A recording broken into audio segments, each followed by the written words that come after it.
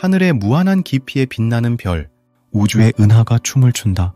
안드로메다와 우리의 우주, 그 크고 작은 세계의 만남, 우리 은하와 안드로메다. 은하의 충돌은 천문학에서 매우 흥미로운 주제 중 하나입니다. 이 충돌은 현재로부터 약 45억 년 후에 예상되는 일입니다. 이 두 은하는 서로에게 접근하고 있으며 우주 공간의 중력 작용에 의해 서로를 끌어당기게 됩니다. 이런 은하 충돌은 매우 복잡한 과정을 거치게 되는데 초기에는 두 은하의 가장 밝은 별들이 서로 충돌하여 별들이 파괴되고 다시 조합되는 과정이 일어납니다. 이러한 과정은 별의 운동 경로를 바꾸고 새로운 별이 생성되며 또한 블랙홀과 같은 중력적으로 특이한 천체들이 형성될 수도 있습니다. 이 충돌은 은하의 모양과 구조를 바꾸며 새로운 은하가 형성될 가능성도 있습니다. 두 은하가 서로 완전히 합쳐지는 경우도 있지만 가끔은 충돌 후에 두 은하가 분리되어 다시 떨어져 나가기도 합니다. 이러한 은하 충돌은 우주의 진화와 은하의 다양한 형태를 이해하는 데 중요한 역할을 합니다. 또한 이러한 충돌은 별과 우주의 다른 현상들에 대한 연구를 통해 우리가 우주에 대한 이해를 더 깊이 있게 발전시킬 수 있습니다. 우주는 끝없이 변화하고 환상적인 이야기를 품고 있습니다. 그 중에서도 두 거대 은하가 충돌하는 장면은 그야말로 우주의 극적인 흐름 중 하나입니다.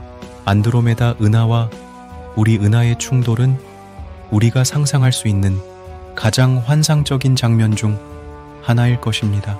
첫 번째로 두 은하가 서서히 접근함에 따라 우리는 점점 더 특이한 변화를 관찰할 것입니다.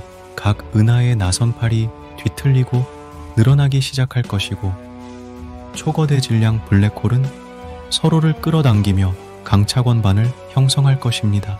이 과정에서 새로운 별들이 탄생할 것이며 우리는 이 환상적인 별 탄생의 순간을 지켜볼 것입니다. 그 다음 첫 번째 충돌이 일어날 때 우리는 우주의 엄청난 에너지를 목격할 것입니다.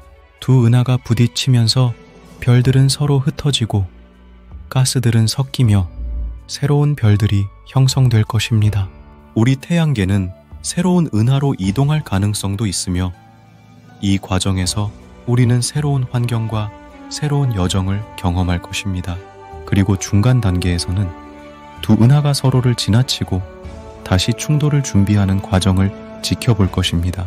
이때 거대한 조석고리 형태의 나선팔이 만들어질 것이며 두 은하의 중심부에 있는 초거대 질량 블랙홀이 서로 접근하면서 강력한 중력파를 방출할 것입니다. 마침내 두 번째 충돌이 일어나면 더 큰 현상이 우리를 기다리고 있을 것입니다. 두 은하의 별들은 더욱 섞이고 가스들은 합쳐져 새로운 별들을 형성할 것입니다. 우리 태양계는 새로운 은하의 바깥쪽 헤일로로 이동할 가능성이 높을 것입니다. 두 은하의 초거대 질량, 블랙홀이 합쳐지면서 거대한 중력파를 방출할 것입니다. 마지막으로 두 은하가 완전히 합쳐지면 우리는 새로운 거대한 타원, 은하인 밀콤에다가 탄생하는 순간을 지켜볼 것입니다. 이 은하는 현재 존재하는 타원 은하와는 다르게 중심의 밀도가 낮을 것이며 우리 은하와 안드로메다, 은하의 나선 팔과 조석 꼬리로부터 남은 별들로 이루어진 거대한 헤일로를 가질 것입니다. 이런 과정은 우리가 어떤 큰 은하의 충돌에서도 볼 수 없는 환상적인 장관을 우리에게 보여줄 것입니다. 하늘에 빛나는 별들이 끝없이 춤을 춥니다. 우리는 새로운 이야기의 시작을 보았습니다. 안드로메다와 우리 은하가 만나 우주는 빛과 그림자로 가득할 것입니다.